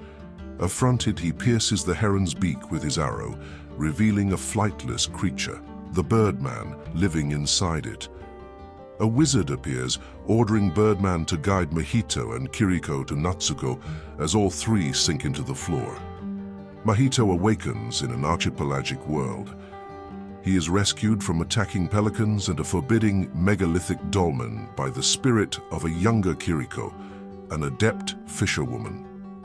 They catch and sell a giant fish to bubble-like spirits called Warawara, which fly to the world above to be reborn.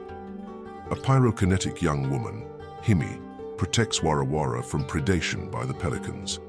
A badly burned pelican explains to Mahito that their species is desperate to survive after being introduced to this world with no other food.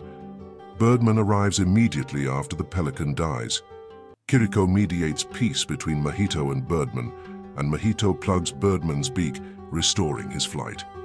The two are separated by anthropomorphic man-eating parakeets. Himi, who is revealed to be the spirit of a younger Hisako, saves Mahito and shows him a counterpart of the tower which contains doors to many worlds.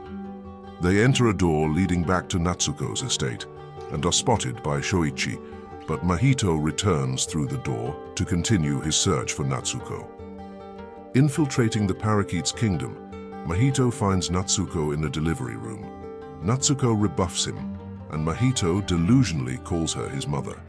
Himi incinerates the paper attacking them, but all three are rendered unconscious by the encounter. In a dream, Mahito meets the wizard, Natsuko's granduncle. The wizard, preoccupied by a stack of stone toy blocks representing their dimension, requests Mahito, possessing the power of his bloodline, to succeed to custodianship of this world. Mahito notices that the blocks are infused with malice. Waking up, he is freed from captivity by Birdman. They climb the tower to pursue the Parakeet King, who is delivering Himi to the wizard, hoping to convince him to maintain the world. The wizard has collected replacement blocks free of malice for Mahito and implores him to build a better world with them. Mahito refuses, acknowledging his own malice, and vows to instead embrace the real people who love him. The Parakeet King takes the blocks and tries to build a better world himself, but the stack is too unstable and falls. The world begins to collapse and flood, and Mahito, Himi, and Birdman escape, reuniting with Natsuko and young Kiriko. After accepting Natsuko as his new mother, Mahito warns Himi of her fate, but she returns to her own time without worry. Mahito, Natsuko, and the elder Kiriko return. Amidst an exodus of animals that revert to non-anthropomorphic forms and reunite with Shoichi, Birdman, reverting back to the heron, notices Mahito keeping a stone of power to one day build a new world, and they part as friends. Two years later, after the war's end, Mahito moves back to Tokyo with Shoichi, Natsuko, and his new half-sibling. Box office. In Japan, The Boy and the Heron grossed as 13.2 million, 31.8 billion in its opening weekend, becoming Studio Ghibli's biggest opening and surpassing Howl's Moving Castle's Y1.5 billion debut in 2004. The film earned U $1.7 million from 44 IMAX screens, setting a new three-day record. It attracted 1.35 million viewers and exceeded Y 2.1 billion, U's 15.2 million in box office revenue in its first four days. On September 11th, the film became the 20th highest grossing anime in Japan. It dropped out of the top 10 grossing films for the first time in its 13th weekend. The gross amount increased by about 1 to 300,000 yen each week, from Y 8.44 billion on October 15th to Y 8.66 billion on December 24th. By March 17, 2024, the gross in Japan reached Y 8.98 billion, 61 million. Film journalist Hiroo Otaka noted the industry's astonishment at the rapid box office success for the film's unconventional minimalist promotion strategy.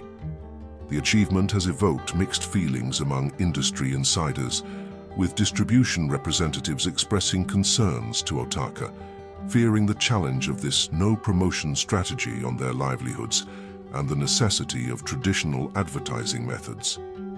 In addition to this marketing strategy, Otaka identified two important aspects of the film's commercial success. The first is that the deliberate approach of leaving the film by itself capitalized on its existing fan base by generating discussion and interaction on social media. He also mentioned Ghibli's earlier works, regularly featured on Friday Roadshow for a decade, indirectly promoted the film. As of April 15, 2024, the film has grossed $294.2 million.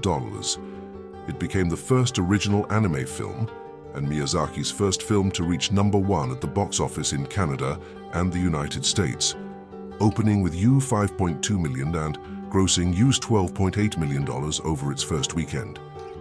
In China, the film broke a record for foreign animated films, collecting US $23.7 million in CNY 171.5 million in a single day. It has earned a cumulative US $94 million as of April 15, 2024. Critical response. On review aggregator site Rotten Tomatoes, 97% of 256 critics gave the film a positive review, with an average rating of 8.5 out of 10. The site's critics' consensus reads, soulfully exploring thought-provoking themes through a beautifully animated lens, The Boy and the Heron is another Miyazaki masterpiece. On Metacritic, the film has a weighted average score of 91 out of 100 based on 55 critic reviews indicating universal acclaim. Audiences polled by CinemaScore gave the English-dubbed version of the film an average grade of A on an A plus to F scale. Although initial reactions to the film were described as mixed, with reviewers finding it abundantly detailed and laden with meaning, the film quickly garnered critical acclaim in Japan. Film site Eiga Channel praised the film as one of Ghibli's finest in terms of visuals and storytelling, but pointed out that non-Ghibli enthusiasts might find the rapid scene transitions confusing.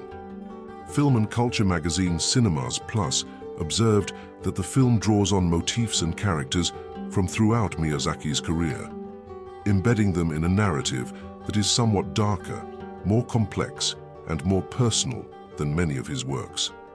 Similarly, Time Out Japan hailed the film as a mature, complex masterpiece, weaving together the director's past, present, and future, a beautiful enigma that promises to be worth the wait. Cezary Jan Strusiewicz from Polygon found the fantasy elements to be absolutely beautiful, and they naturally include shots of the classic, impossibly delicious-looking Ghibli food, and wrote that people can watch this movie over and over, always finding something new and exciting in it. He stated that there is a nostalgic longing for the past that evokes the impression of a director reflecting on their career before stepping away. And this underlines the makings of a perfect swan song.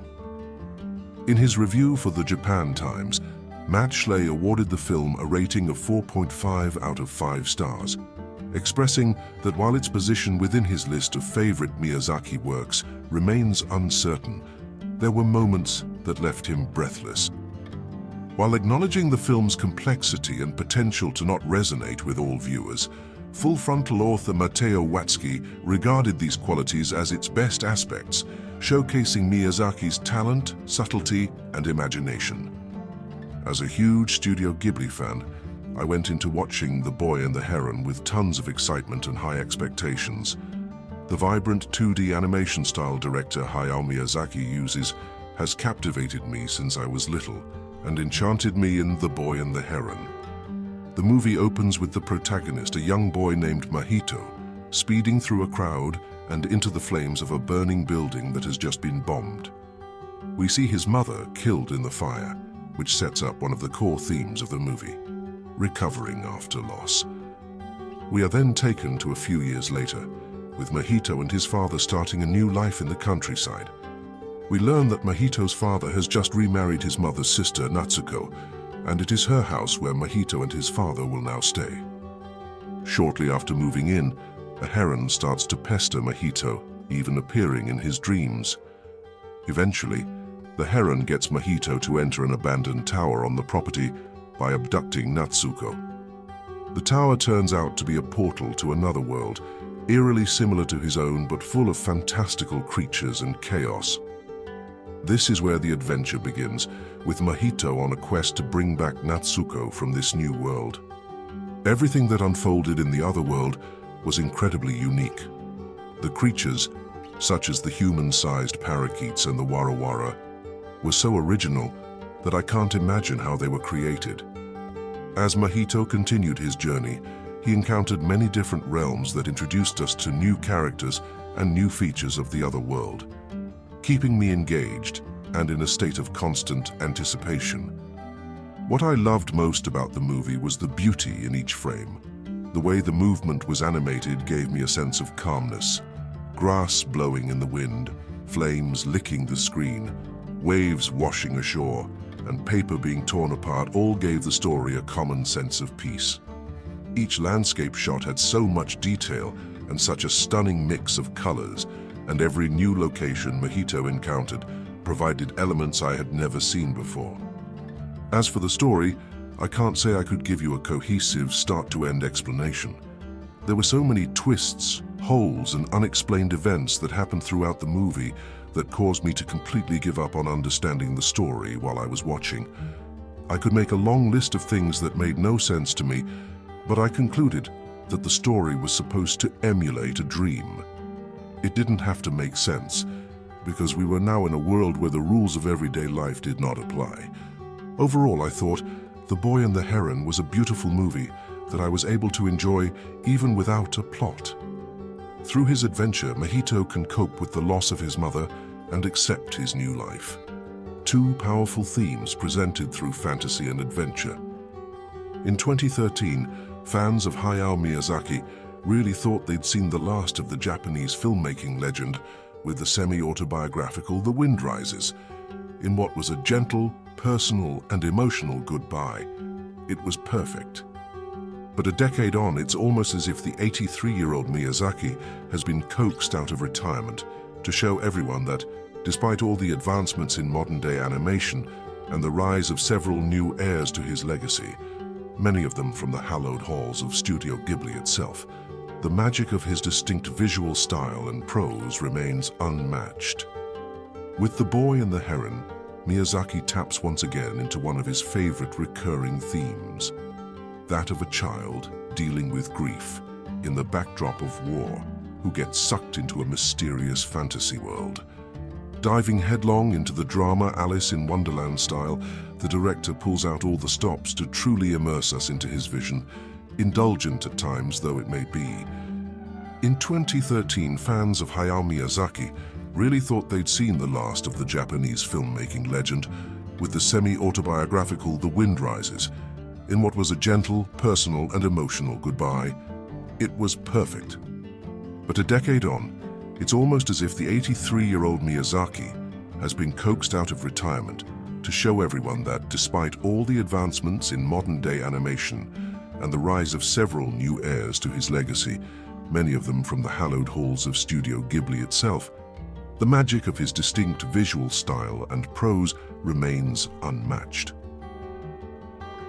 Cannes 2024. Studio Ghibli makes history as the first group to be awarded Honorary Palme d'Or. With The Boy and the Heron, Miyazaki taps once again into one of his favorite recurring themes. That of a child dealing with grief in the backdrop of war who gets sucked into a mysterious fantasy world. Diving headlong into the drama Alice in Wonderland style, the director pulls out all the stops to truly immerse us into his vision indulgent at times though it may be. We begin by meeting young Mahito Maki, voiced by Soma Santoki in early 1940s Japan during wartime. His mother is killed in a hospital fire after a bombing raid on Tokyo, and his father, who heads a factory that manufactures fighter planes, ends up marrying his late wife's younger sister, Natsuko Yoshino Kimura. Mahito, who is still haunted by the loss of his mother in recurrent nightmares, has to relocate from Tokyo to a country estate run by Natsuko and her staff of squabbling old grannies, where he's left to fend off his inner demons alone. This is where the first of Miyazaki's autobiographical touches kick in. The animator's own father worked in a fighter plane factory. His family left Tokyo for the countryside when he was very young, and some of his earliest memories as a child involved burning infernos and the fear of war. As Mahito's inner turmoil and guilt at being unable to save his mother continues to confound his subconscious, he comes across a giant talking heron, voiced by Masaki Suda, who keeps trying to lure him into a forbidden derelict tower on the grounds of the estate. The heron first tells him that his mother isn't dead after all. Then, to make matters worse, his stepmother, Aunt Natsuko, who is now pregnant, disappears, and following this anthropomorphic bird into a parallel universe through the tower seems to be the key to finding her. From there on, the protagonist is drawn into a magical timeline populated by everything from fire maidens and man-eating parakeets to unborn human souls called the Warawara, right up there with Ghibli's most enchanting creations, and ancient wizards. Miyazaki fans will be delighted by the familiarity of many such figures, as Mahito combats one surreal circumstance after another, still unable to differentiate between his dreams and real life. Neither are we. Aided by a superb voice cast, the English language version features Luca Padovan, Robert Pattinson, Christian Bale, Gemma Chan and many others, and gorgeous orchestral score by longtime collaborator Joe Hisaishi, Miyazaki eventually unleashes the full force of his imagination in this limitless world, but the narrative excites and exasperates in equal measure. You hardly have time to admire the ingenuity behind a character and their surroundings before being whisked away into a different realm or plot point. Lavish though this may be, the striking clarity behind his previous outings like My Neighbor Totoro or Spirited Away is a miss. But is this exactly what Miyazaki wanted us to experience? The film's original title, How Do You Live, is taken from a 1937 Japanese novel by Genzaburo Yoshino, a favorite of the filmmaker. And at several points, it almost seems like he is posing that very question to the audience and himself. So how do you live? How do you make your peace with the past and confront a grief that nobody else can quite understand? The Boy and the Heron provides no easy or clear-cut answers to this, and Miyazaki leaves us pondering well after the film has finished. As Mahito finds new meaning to love, family and loss in more ways than one.